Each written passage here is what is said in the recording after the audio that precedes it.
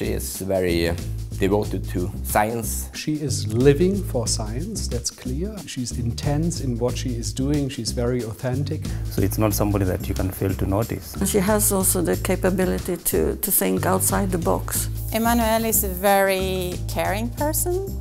She can also surprise you sometimes with her wit and sense of humor when you least expect it.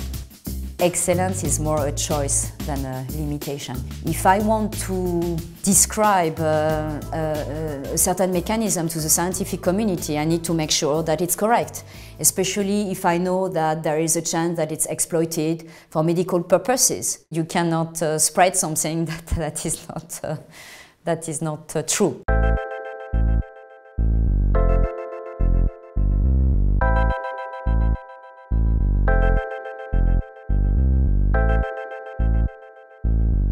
Excellence is a choice rather than a constraint.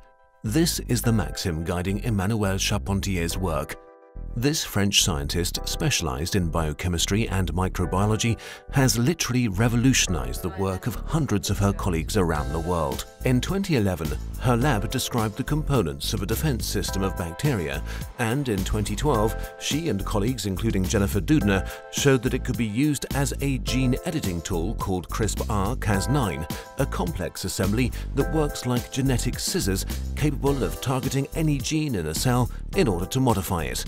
My goal was really to understand the fundamental mechanisms of the bacteria, allowing to, to detect a pathway that could be exploited as a, as a novel uh, anti-infective strategy.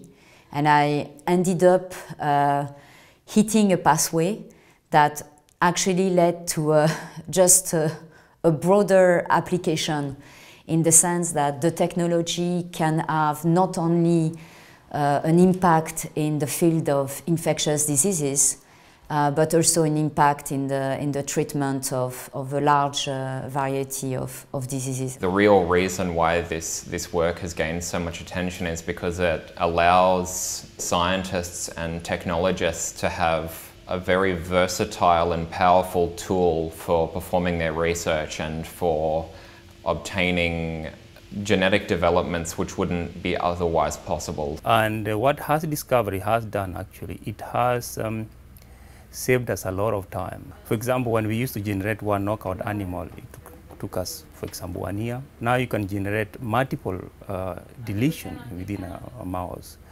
uh, within a very short period of time. As a plant scientist, I'm really thankful uh, for the work that Manuel has done, her discovery in this genome editing uh, area because it actually provides a promise to revolutionize plant breeding. And uh, that you know plant breeding in relation to agriculture crops or also to forestry species. And I think the plant community now is working very hard to develop this technique. And I think we will see a lot of good come out of this in, in the future. I think this has become a the tool for the future. CRISPR-Cas9 changed daily routines in research labs around the world and revolutionized molecular biology. But this discovery went beyond the limits of science, going on to make a name for itself outside the laboratories. It's inspiring for others. Uh, it increases our attractiveness. It means a lot for the students, but also, of course, for the environment as such at the university. Uh, so, so the environment created by a group of, of scientists, but also working more widely, both locally and internationally. It, it's fantastic. It's a breakthrough finding.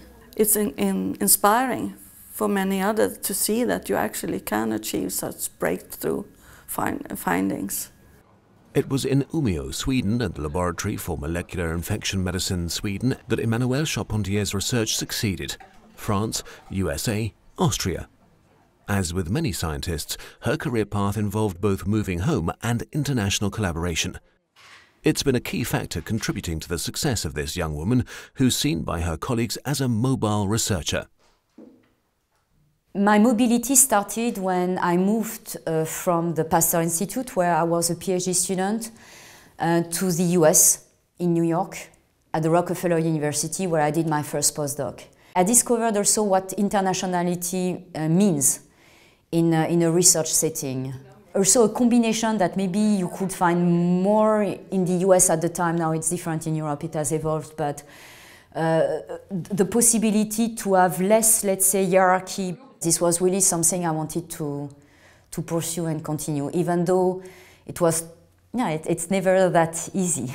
I think essential to, to the success of science with the possibilities to exchange ideas and exchange methods and being able to, to send the staff uh, to other laboratories uh, wherever they are in the world. Well, uh, she certainly is uh, very international in her uh, outlook on science, which is common, of course, uh, in, in most fields of, of, life sciences. But she has had a career that, that proves that she is also then able to, to move and set up her research in different settings.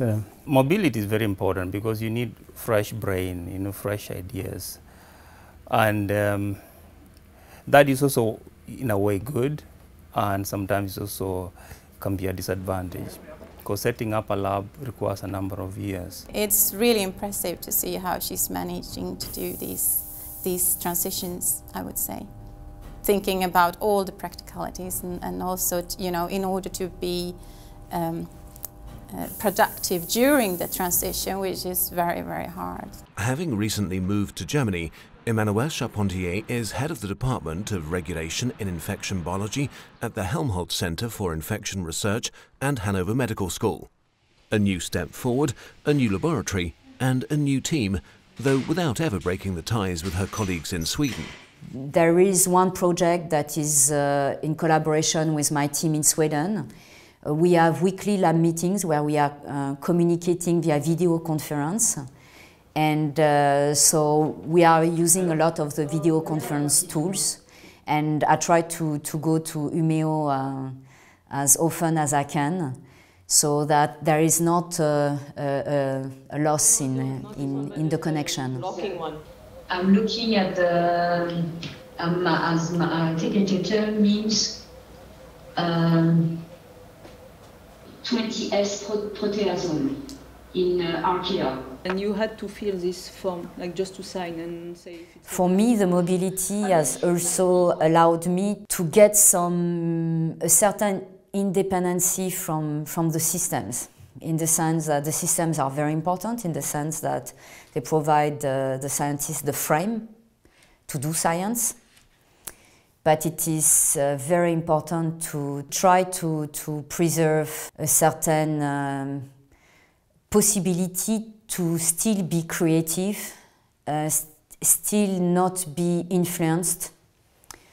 And so this is uh, always a challenge for, for scientists. Emmanuelle Charpentier's creativity has given new wings to molecular biology. But it's also, even above all, in the field of medicine that the hopes are highest. Clinical applications of the CRISPR-Cas9 mechanism could accelerate the development of treatment for hitherto incurable diseases. Of course, it's exciting because we have, uh, when you think about certain chronic diseases like cancer, I mean, you can treat cancer, but you cannot kind of heal it, okay? You cannot, you cannot remove, uh, for example, uh, genome errors which uh, take place in which might lead to cancer diseases, but if you can correct them, for example, in cells, um, you, you, you put them back to square one, you make the cells healthy again and eliminate maybe chronic diseases. I think that's why I'm excited about it because it's so easy to do it. It has been shown already in animal models how easy it is to edit genes uh, using this method. And I'm quite optimistic that this might also be then used in, for example, to uh, treat human diseases in the future. While following closely the development of medical applications for her discovery, particularly through a company she has set up in Basel, Emmanuelle Charpentier continues with her research in uncharted territory. That's what she likes best. During my journey from Austria to Sweden to now Germany, with for sure uh, the overall thinking being developed in Sweden.